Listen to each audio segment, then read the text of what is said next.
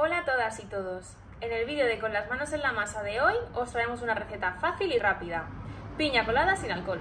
Esperamos que os guste. Para la receta de hoy vamos a necesitar una lata de piña, una lata de leche de coco y luego para edulcorar al gusto, o bien leche condensada o edulcorante.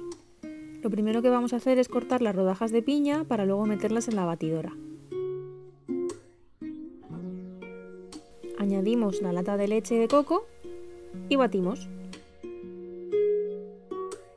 Una vez tenemos la mezcla ya batida, vamos a colarla para que quede más finita al paladar, ya que de la piña suele dejar algunas hebras.